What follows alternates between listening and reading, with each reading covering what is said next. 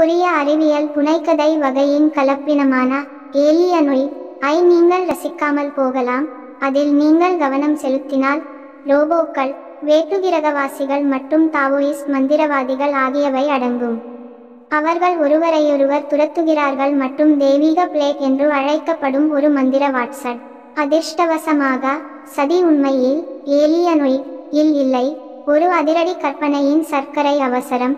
இறுதியில் ஒரு கிளிஃப்ஹேங்கர் முடிவு மற்றும் யார் யார் என்பது பற்றிய சில பதிவு செய்யப்பட்ட வெளிப்பாடுகளுடன் முடிவடைகிறது.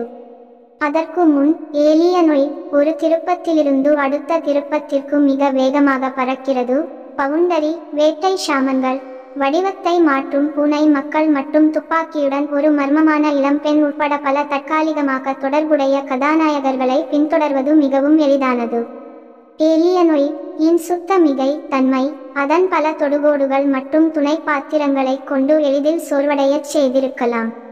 அதிர்ஷ்டவசமாக எழுத்தாளர் இயக்குனர் சோய் டோங் ஹூன் தனது ஹிட்மேக்கர் நற்பெயரை நிராயுதபாணியாக்கும் ஸ்க்ரூபால் காமெடி மற்றும் மகிழ்ச்சிகரமான குணச்சித்திர நடிகர்களின் நடிப்புகளுடன் அதிக உயர்த்தப்பட்ட செத்துண்டுகளை சமநிலைப்படுத்துவதன் மூலம் உறுதிப்படுத்தினார். பிரகாசமான ஆடைகள் மாட்டும் காலக்கெடு மற்றும் உந்தப்பட்ட சிறப்பு விளைவுகள். ஏலியனொய் இன் மிக முக்கியமான பகுதிகளாக தோன்றினாலும் சோய் அசாசினேஷன் வூச்சி தி டெமான்ஸ்லேயர் போன்றவற்றை பார்க்க நீங்கள் உண்மையிலேயே இருக்கிறீர்கள். அவரால் முடிந்தவரை பல தட்டுகள் காற்றில் பறக்கின்றன.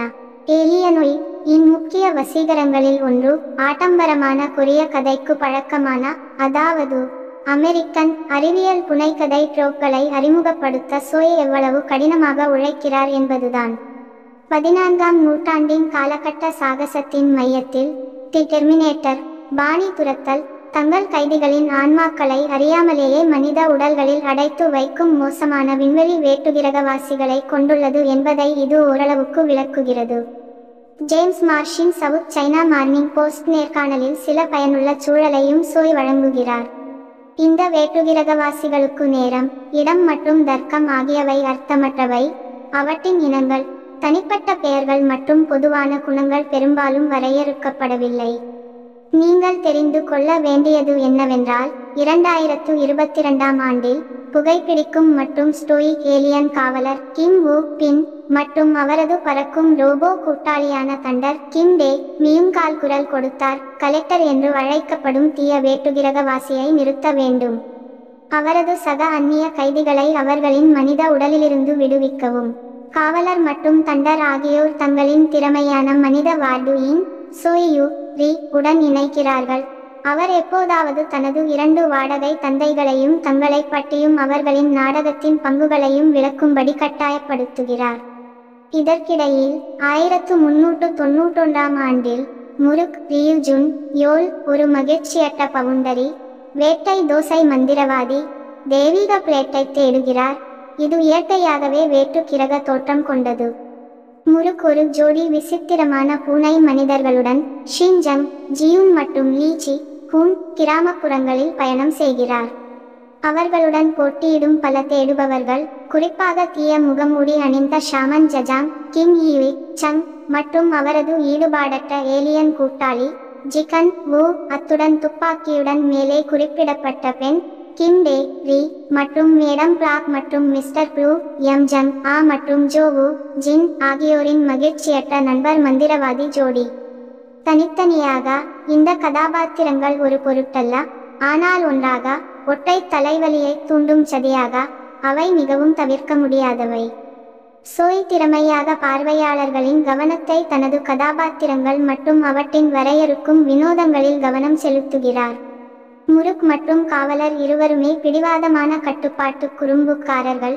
எனவே அவர்களின் கதைகள் ஒன்றுக்கொன்று தங்கள் திறனை உணர்ந்து கொள்ள வேண்டும் அல்லது ஈன் அல்லது அந்த படங்காத்த துப்பாக்கி பெண்ணின் உதவியை ஏற்றுக்கொள்ள வேண்டும் என்ற பரஸ்பர தேவையால் மறைமுகமாக பிணைக்கப்பட்டுள்ளன. ஐசக் அசிமோவின் ரோபோ கதைகள் மற்றும் டிசி காமிக்ஸின் புஸ்டர் கோல் காமிக்ஸ் ஸ்கிட்ஸின் ரசிகர்கள் தண்டரை விரும்புவார்கள் உட்பட அமெரிக்க அறிவியல் புனைகதைகளில் இருந்து பல கடினமான குறிப்புகள் மற்றும் அல்லது தாக்கங்கள் உள்ளன. அடுத்த சதிப்புள்ளியை அடைவதற்காக சில சமயங்களில் ஒருவரையொருவர் உண்மையில் வளைத்துக் கொள்கிறார்கள்.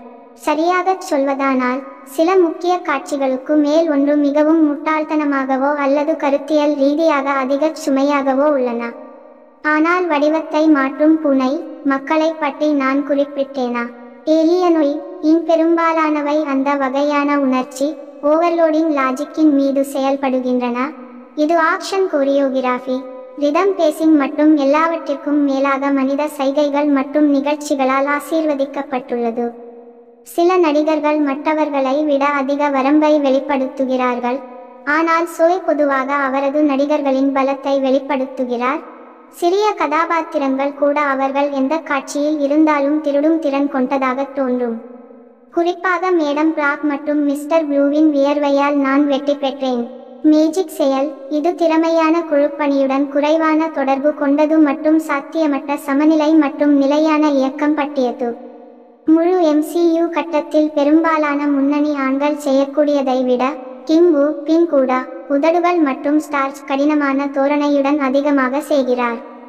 ஏலியனொய் என்பது ஒரு விரிவான மற்றும் விலையுயர்ந்த மேஜிக் தந்திரம் மற்றும் அதன் முக்கிய அம்சம். அதன் படைப்பாளர்களின் ஆற்றல் மிக்க ஃபிளைலிங்கை வைத்துக் கொள்வதில் உங்களை எவ்வளவு கடினமாக்குகிறது என்பதே. இது பிளாக்பஸ்டர் வகையாகும். இது முடிந்தவரை பல வகையான பார்வையாளர்களை ஈர்க்கும் வகையில் தெளிவாக வடிவமைக்கப்பட்டுள்ளது. எனவே நிச்சயமாக எல்லாவற்றிலும் அதிகமாக உள்ளது.